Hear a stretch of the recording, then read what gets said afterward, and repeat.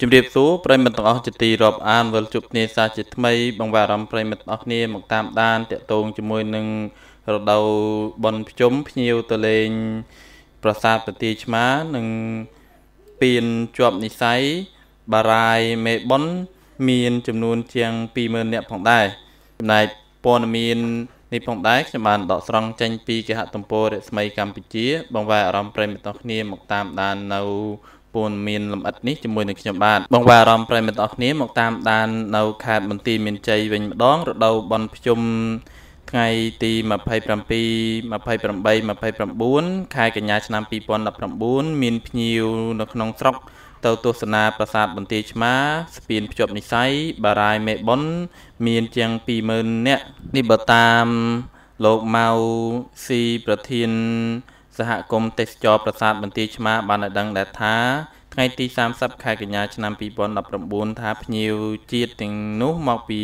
ខេត្តបន្ទាយមានជ័យនិងខេត្តក្រៅផ្សេងផ្សេងទៀតហើយច្រើនជាងគេគឺនៅថ្ងៃទី28ខែកញ្ញាឆ្នាំ2019នៅថ្ងៃបន់ភ្ជុំធំ គឺមានជាង12000នាក់ផងដែររីឯថ្ងៃទី27ទៅដល់ថ្ងៃទី29ថ្ងៃទី30ខែកញ្ញា មានភ្ញៀវទេសចរ6000នាក់ផងដែរទៅ8000នាក់នៅក្នុងមួយថ្ងៃលោកបានបន្តទៀតថាគោលដៅសំខាន់គឺភ្ញៀវចង់ឃើញនឹងទស្សនាហើយយកស្រូបយកខ្យល់អាកាសលើស្ពាន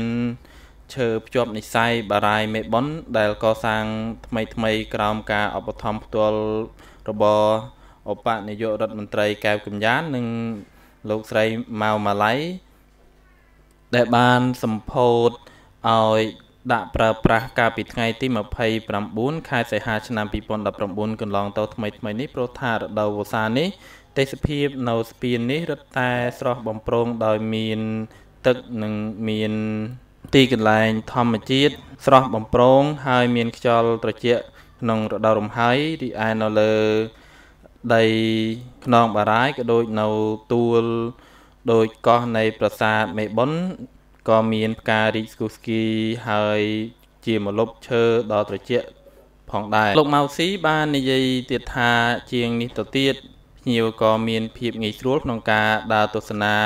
និងផ្តិតរូបភាពពីទេសភាពនិងប្រាសាទព្រោះលោកម៉ៅស៊ីបានបន្តទៀតថាលោកស្រីម៉ៅម៉ាឡៃសហការជាមួយនឹងក្រសួងវប្បធម៌និងវិចិត្រសិល្បៈបានឲ្យក្រុមការងារស្ថាបនាផ្លូវស្ពានឈើបត់បែនគ្រប់ សពទៅលើគោលដៅតំណងនៃទស្សនីយភាពទាំងនេះមិនទាន់រួចរាល់សពគ្រប់នោះទេហើយភ្ញៀវដែលទៅលេងកំសាន្តនៅអាងជើងគ្រោះដែលមានឈូកដេដាស់ទឹកលហលហាយជាប់ជើងមេឃនឹងឃើញជួរភ្នំដងរែកទស្សនានៅរមណីយដ្ឋានធម្មជាតិភ្នំព្រះនិងប្រាសាទបន្ទាយទ័ពដែលស្ថិតនៅភូមិ សាសស្រុកថ្មភក់ឬជំវិញប្រាសាទបន្ទាយឆ្មាផងដែរព័ត៌មាននេះឈានដល់ទីបញ្ចប់ហើយខ្ញុំបាទសូមអរគុណប្រិយមិត្តអស់គ្នាដែលតាមដានពីដើមរហូតដល់ចប់នៅពេលនេះខ្ញុំបាទសូមអរគុណនិងសូមជម្រាបលា